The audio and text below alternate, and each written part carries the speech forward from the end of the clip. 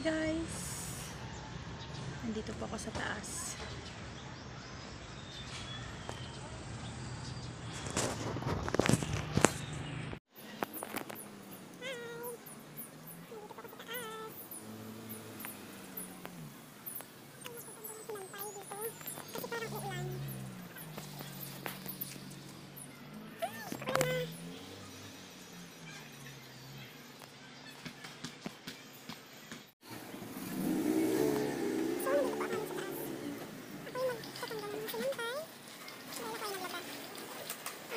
elementary school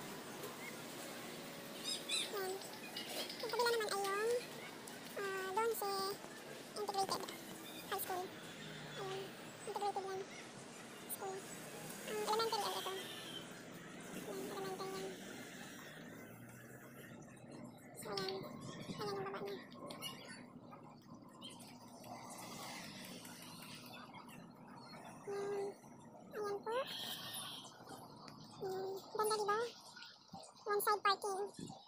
Dito nakapark na yan ang mga sasakyan sa kabila. Next week, doon naman sa kabila ang parking.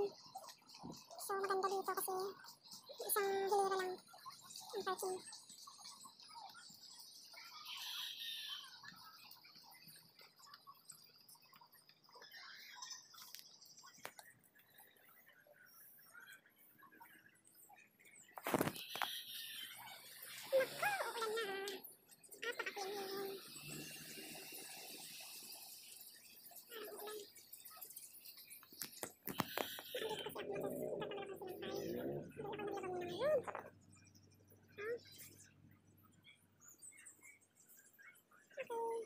Bye-bye.